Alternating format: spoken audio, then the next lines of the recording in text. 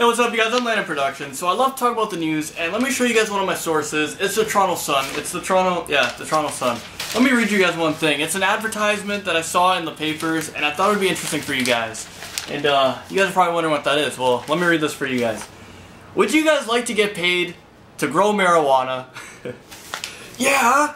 Get paid to grow marijuana. So if you want to get paid to grow marijuana, and this is legit, this is actually in the papers. I don't know how focused it can be, but uh, pretty much you have to take three-part courses to be able to grow marijuana. So they're, they're like this is freaking legit. So you have to learn the legal coverage. Okay, let, let me just say one thing. It's not like to grow marijuana to go sell it to be to become a drug dealer. You know, it's like okay, we're gonna teach you guys how to be a proper drug dealer and not be caught by cops. Like that. No, that's that shit's not going on. it's pretty much um, do you want to be a weed grower for medical reasons, pretty much? Medical reasons.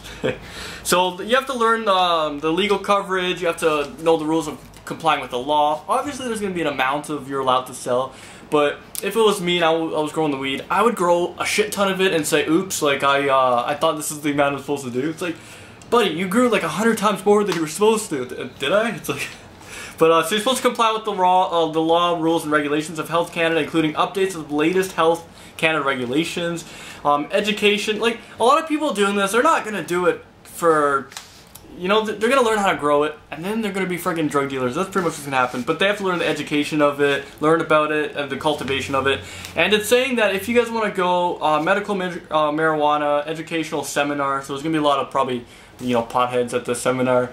Uh, you can go to the University of Toronto. They're not kidding. It's not a, frigging like a college. It's in a university, and you have to go on September 8th. And I guess if if you're a pothead and you missed a day, uh, they give you another day. They give they give you. It's a two day thing. Uh, that's what I'm guessing it's for. If you if you missed a day, and then you can go on September 9th. But uh, so yeah, if you want to be um, a weed grower, go to University of Toronto, September 9th, and to the September 8th to the September 9th.